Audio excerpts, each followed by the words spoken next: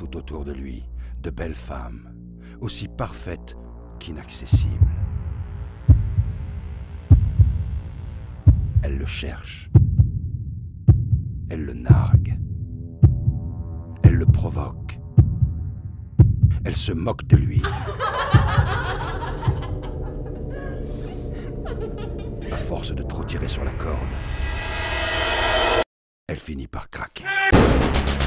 Jacques Vendôme présente Frustré. Ça te plaît d'exciter les hommes.